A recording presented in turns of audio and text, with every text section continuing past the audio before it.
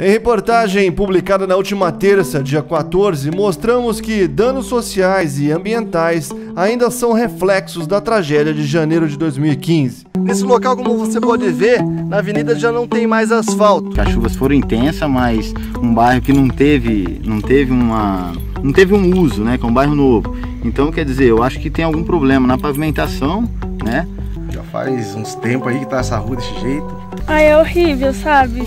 É, quando chove não tem como de passar. E na manhã de ontem nós fomos atrás de mais informações e conversamos com o secretário de Planejamento, Dário Campiolo. Naquela mesma época, a gente conversou com o loteador, a gente chamou ele aqui para conversa, notificamos ele, é, porque lá tinha, tinha algumas falhas estruturais.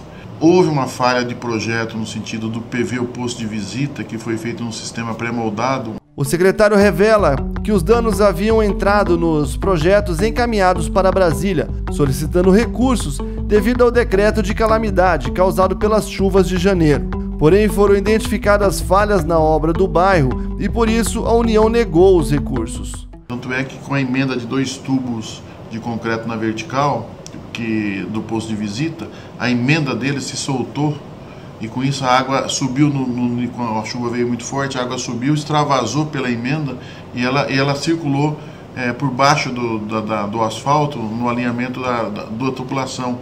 Isso ajudou com que todo aquele asfalto descesse. É, enfim, é, a responsabilidade sobre, é, ela, ela, ela sobrecarrega totalmente o loteador agora. Ele vai ter que executar, infelizmente. Tanto é que ele já duplicou as bocas de lobo, agora ele vai ter que recuperar aquela via. E o emissário também, que foi todo destruído ali, né? Um outro problema também é que a gente tem um fundo de vale aqui. Né? Esse fundo de vale tem um córrego que ele vai para o Bandeirante do Norte, né? para o Rio Bandeirante do Norte.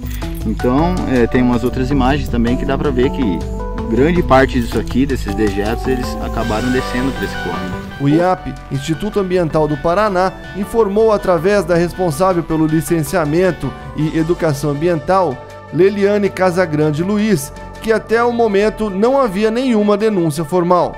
Ela explica que somente após uma denúncia o IAP analisa a necessidade de realizar a vistoria no local. E se identificado o dano ambiental, uma notificação é feita para os responsáveis e, caso eles não cumpram as orientações, poderão ser multados. A gente conversa na prefeitura, a prefeitura fala que é a loteadora, faz a loteadora, fala que é a prefeitura, né? Fica sempre um empurrando pro outro. Até o fechamento dessa edição, não foi possível entrar em contato com a loteadora responsável pelo empreendimento. De qualquer lugar, a qualquer momento, eu sou Rodrigo Stutz para o jornal Manchete do Povo. Não saia daí.